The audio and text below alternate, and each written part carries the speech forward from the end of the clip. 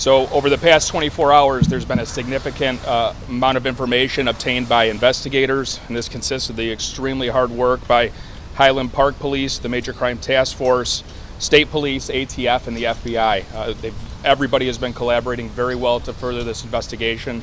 The community has been absolutely terrific as it comes to uh, reporting information that they have, things they may have witnessed, things they may have seen, turning over video that has really helped us uh, further the investigation and aid investigators.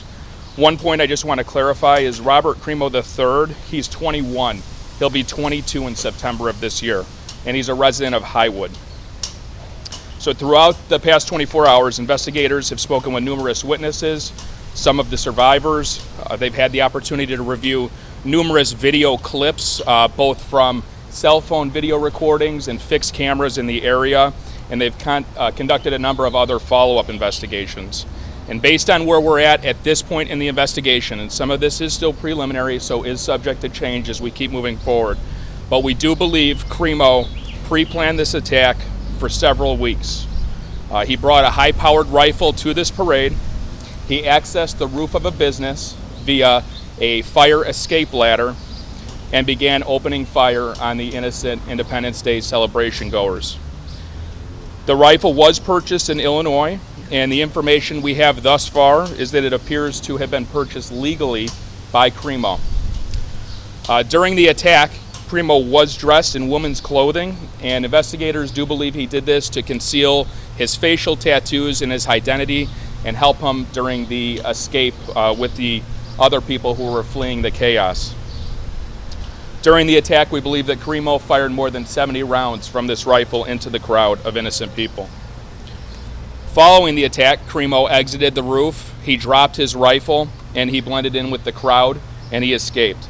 Uh, he walked to his mother's home, who lived in the area, and he blended right in with everybody else as they were running around, almost as he was uh, an innocent spectator as well. He borrowed his mother's vehicle.